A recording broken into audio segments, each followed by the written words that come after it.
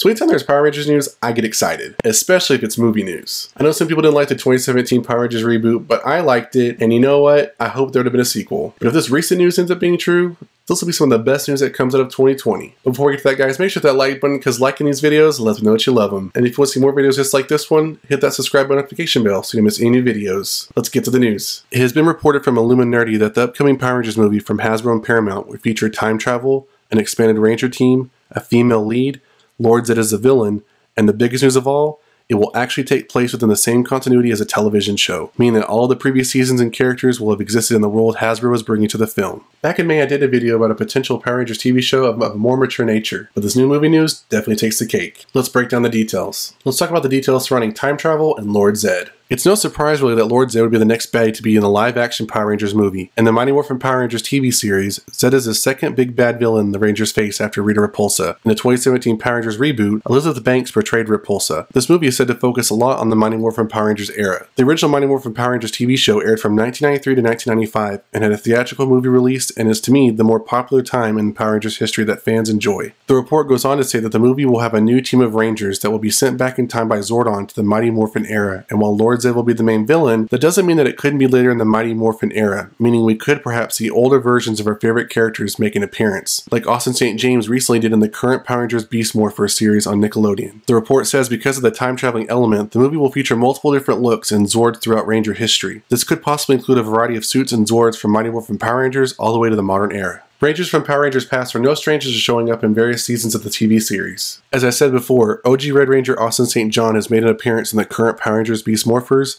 but he's also shown up as the Gold Ranger in 1996's Power Rangers Zeo, 1997's Turbo Power Rangers movie, and 2002's Power Rangers Wild Force. Jason David Frank, who played Tommy Oliver in the series, has been the most prominent throughout and has shown up in eight different seasons of the Power Rangers and has been in both movies from the 90s. Next, let's talk about the expanded team and female lead. The report talks about an expanded team and a female lead for the Power Rangers.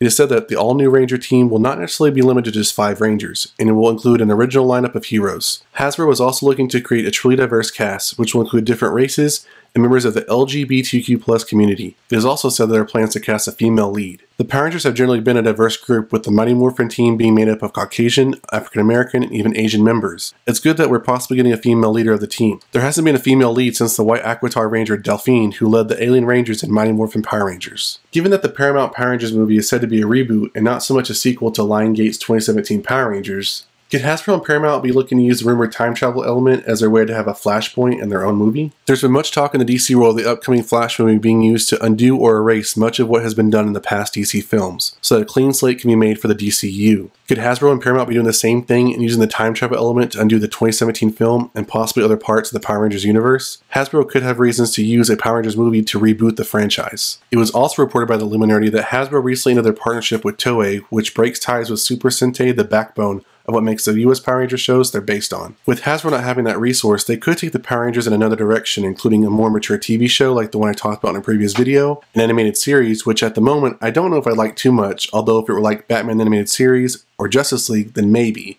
Or if the movie is successful, then maybe just a new movie franchise. Hasbro sells a lot of toys, and since they've been selling a lot of retro toys from the Mighty Morphin era, that has really grown the Power Rangers fan base.